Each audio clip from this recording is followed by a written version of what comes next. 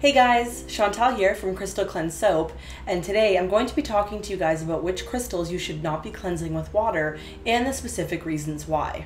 So this is a simple video that I'm making to talk about the crystals that you can be cleansing with water. Now keep in mind that I'm not talking about crystals that you can make gem water or crystal infused water with. The list for crystal infused water is much longer because consumption of crystal water is much different than crystals that can be cleansed with water. Today, I'll be talking about crystals that become toxic, break down, change color, crack, or rust when they get wet. Cleansing your crystals with water is a great way to cleanse your crystals, but it's very important to know which ones should and shouldn't be cleansed with water. So I've broke this down into a few categories. So let's start off by talking about the crystals that will actually dissolve when they get wet. So first on this list, we have halite, and halite is actually a type of rock salt, so it's no surprise that putting some form of salt into water will cause it to dissolve. And next on the list, we have calcite. Calcite is actually a very soft stone that comes in several different colors. And because it's a softer stone, it will actually dissolve in water over a period of time. And next up, we have angelite. This blue colored stone with a white center is actually gypsum without water. So if you get angelite wet, it turns back into gypsum. Now, once angelite converts back to gypsum when it gets wet, over a period of time, gypsum will dissolve in water. Speaking of the mineral gypsum, that takes us into our next crystal, which is actually selenite. Selenite is actually just a crystallized version of gypsum. This crystal will absolutely dissolve in water, and it's best to keep selenite away from water altogether if possible. So those were some common crystals that will actually dissolve in water. So let's move on to the next category, which is which crystals will actually flake off when they come in contact with water. First on the list is mica. There are several different types of mica, so if you see something with mica in it, it probably comes from the mica crystal family. Now, any crystal in the mica family will flake off and break down in water. And next up, we have lepidolite. This stone is a rare lithium-rich variety of mica. Lepidolite is typically pink, red, or purple.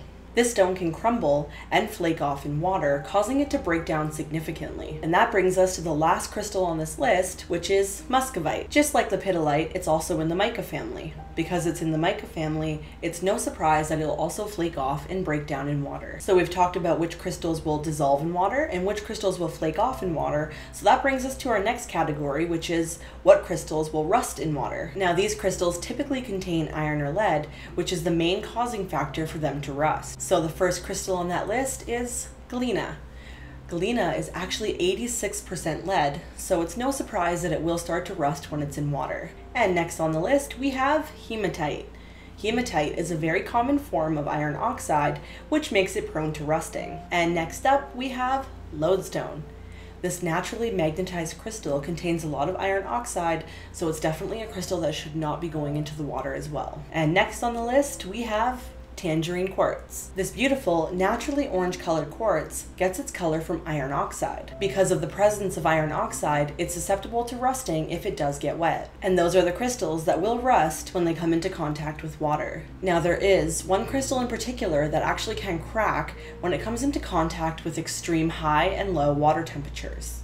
And that crystal is opal. Opal is a crystal that can crack in extreme water temperatures. Opal is a common crystal that can crack when submerged in very high or very low water temperatures. This is definitely something to keep in mind. Now, not all opals are the same and the same quality, so when cleansing them, just cleanse them at room temperature just to play it safe. While opals can crack, it's not common for them to break, the next set of stones that I'm going to be talking about can actually break in certain water temperatures. The first stone on this list is moldavite.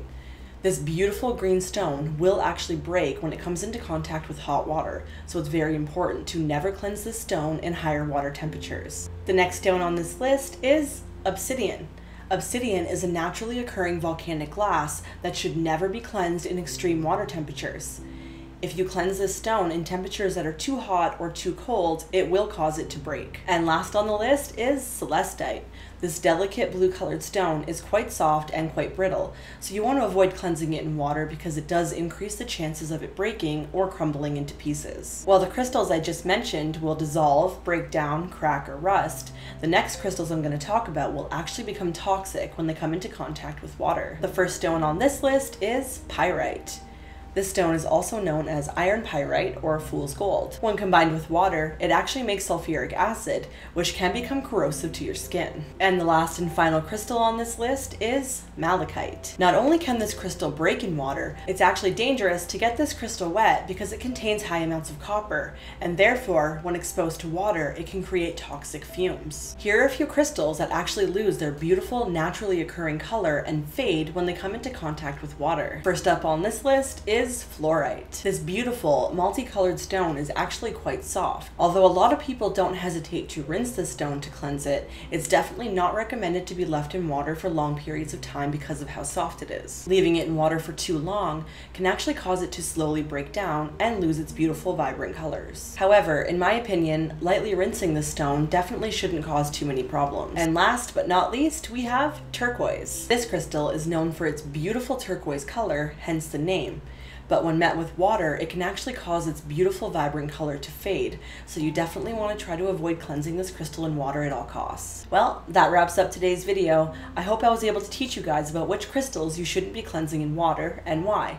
If you have any crystal related questions that you'd like answered, don't hesitate to leave them down below and I'd be happy to help you if I can. Don't forget to subscribe to our channel and like this video for more.